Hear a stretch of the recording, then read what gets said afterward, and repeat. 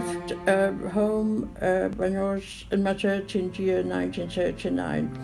Um, I went, came to England on the Kindertransport.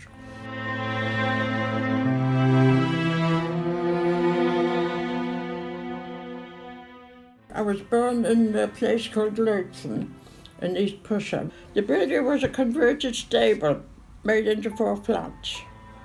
Um, the, the, we had two rooms and the toilet was outside uh, next to a dung heap because it was a farm. At the start I had an ordinary uh, upbringing. Uh, it's only when Hitler came into power and he made rules uh, and none of, none of them were in favour of the Jews. Jewish children can only go to school in a Jewish school. And since the school that we went to was a German, a German school, Adolf Hitler Schule. One day we went to school and the next day that was it, we were barred from the school. I was nine years old and that was the end of my schooling. We, we were not allowed to go into the park, we were not allowed to go uh, to a cinema, we were not allowed to uh, enter certain shops. They burned the, our synagogue. They burned the synagogue.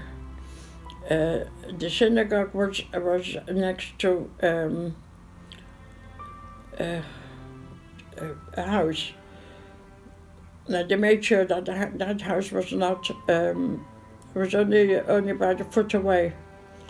Uh, that house was never damaged, but the synagogue was burned down to the ground.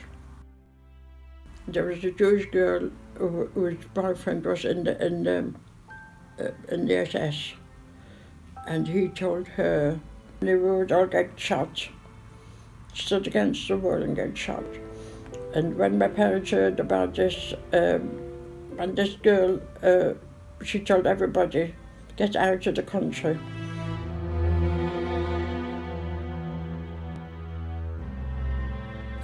So it was about September, uh, September, October 1938. On this particular night, we'd gone to bed as usual. Uh, when we were woke up by a terrific bang on the front door. These two Gestapo men marched into our flat and told my father to get up, march now, march now, which means be quick, be quick. He had to get up, get dressed, and they marched him out of the flat. When, when he left, we didn't know what was what was all about. My mother had looked out of the window to find out what happened to him. She went to all the Jewish, house, Jewish homes. Uh, there was only about six families in the town and uh, she found out, she discovered that every Jewish man had been arrested in the town. He was actually held in a, in a holding cell. The only crime he committed is that of being a Jew.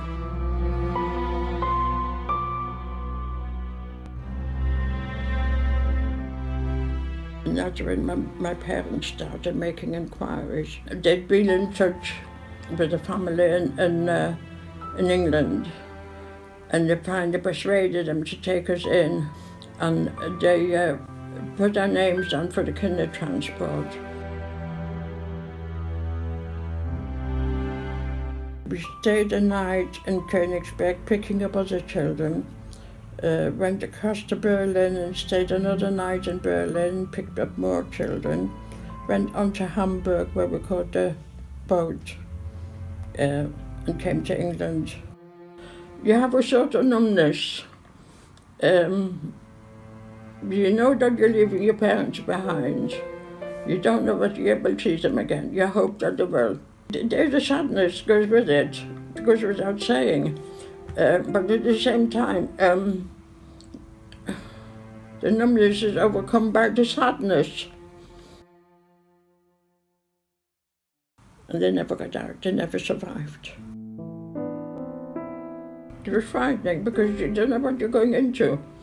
And you were always going to family, relatives, who my parents never met. I didn't uh, uh, expected good things, which I'm sorry to say I didn't get. I went to people to family who didn't want us and treated us accordingly. They made it very hard for us. Very, very hard. 1939 was a very hard winter, and I was still wearing my sandals. Um, uh, short socks and a cotton a cotton uh, jacket. Uh, as a result, I got chilblains. Because all through that winter, I could never go out because I couldn't walk.